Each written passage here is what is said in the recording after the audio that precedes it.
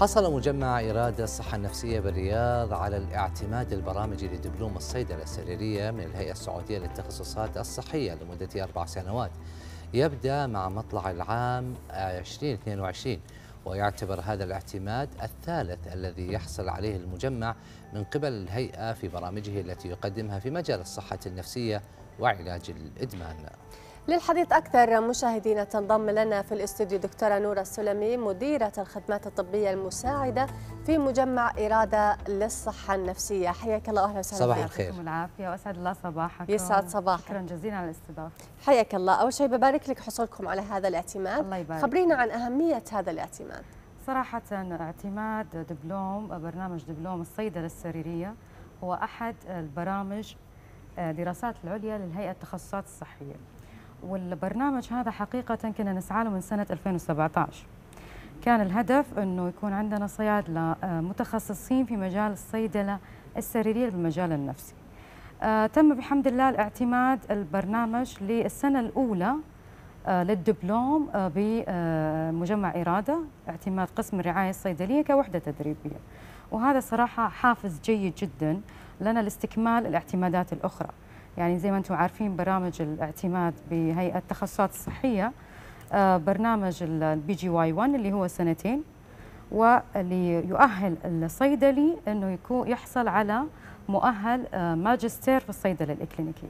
جميل. و PGY2 اللي هو يكون متخصص في الصيدلة في مجال معين، يعني إحنا هدفنا إنه يكون متخصص في مجال الصيدلة النفسية ويحصل على مؤهل صيدلي استشاري.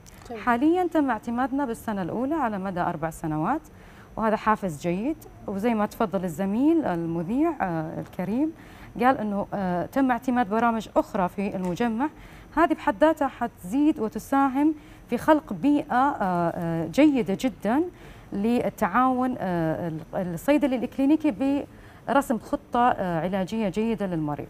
جميل جدا. طيب دكتور نورة يعني في نقطة معينة ما هي أهم التخصصات التي تم اعتمادها في البرنامج؟ برنامج الصيدلة الإكلينيكية حاليا للسنة الأولى هو برنامج عام تدريب عام. يعني تدريب في مجالات الصيدلة مثلا السلامة الدوائية مركز معلومات الأدوية الصيدلية الخارجية الصيدلية الداخلية وحدة المحاليل الوريدية كذلك في جانب تدريبي في الإدارة الصيدلية هي تسع دورات. كل دورة مدتها خمس أسابيع. نعم. آه تبتدئ من أكتوبر لأنه التقديم على البرنامج أساسا في هيئة التخصصات يبتدئ من سبتمبر. فمدته سنة من أكتوبر إلى سبتمبر آه تسع دورات بإذن الله. جميل. دكتورة نورة خبرينا أكثر عن طموحاتكم وتطلعاتكم المستقبلية في اعتمادات أخرى ربما تكون من نوع آخر آه زي ما آه حكيت لك آه أستاذة قبل شوي قلت لك على مجال الاعتماد والهدف الأساسي اللي كان داعم لنا صراحة آه إدارة المجمع مشكورة أنه نسعى لحصول على اعتماد شهادة الاختصاص بالصيدلة السريرية نعم. إيش هي شهادة الاختصاص بالصيدلة السريرية؟ هي تؤهل الصيدلي إنه يكون صيدلي استشاري متخصص. نعم. آه ومتخصص في مجال الصحة النفسية. اللي هو PGY2 زي ما قلت لكم قبل شوي، هذا هو الهدف. آه حصولنا على هذا الاعتماد آه رائع صراحة لأنه نستكمل بقية المتطلبات نأخذ على PGY2 آه نكمل ال PGY1 السنة الثانية بعدها نستكمل PGY2 نعم.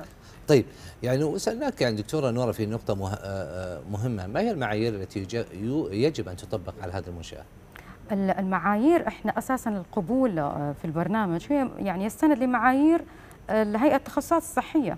نعم. آه يعني المعايير عدة صراحة يعني يمكن لما ياخذنا الوقت إني بتكلم عن بال details أهمها.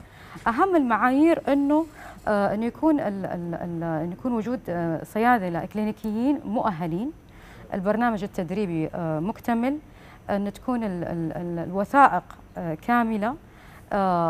تكون المؤسسة معتمدة كمؤسسه تدريبية يعني مجمع إرادة معتمد كمؤسسه تدريبية يكون في يعني في أحيانا في الاوبزرفيشن الزيارات لما يجوا المقيمين تكون عندهم معايير معينة استكمالا لهذه المعايير واللي أساسها وجود صيادلة إكلينيكيين يتم الاعتماد على هذا الموضوع. نعم.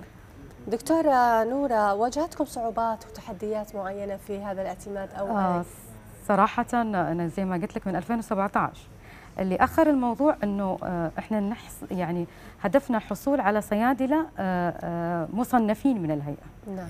في الصيدلة الإكلينيكية. موجود صيادلة متمكنين جدا لكن التصنيف هو متطلب صيدلي نعم. استشاري وصيدلي إكلينيكي. فكان الوقت أنه الحصول على صيادلة وتدريب وفتح وحدات جديدة بالصيادلة الإكلينيكية في المجال الإكلينيكي. فلما استكملنا المتطلبات تم التقديم وتم بحمد الله القبول يعني. طيب دكتور نوره يعني ما شاء الله تبارك الله أنت ذكرتي هناك تسع دورات يعني مدتها خمسة أسابيع. من وجهة نظرك ما هي أهم تلك الدورات؟ ما هي الدورة المهمة؟ آه صراحة كلها مهمة يعني إنه الصيدلي لازم يكون مر على جميع الدورات، ما أقدر أقول لك إنه في آه، جزء آه، إحدى الدورات مهمة وأت يعني أكون يعني ظالمة لبقية الدورات، جميع الدورات مهمة وأساسية وهي تعتبر السنة الأولى في البرنامج الريزيدنسي الإقامة آه، للصيدلة السريرية متطلب. يعني جميع الدورات متطلب أساسي وجميعها مهمة. نعم.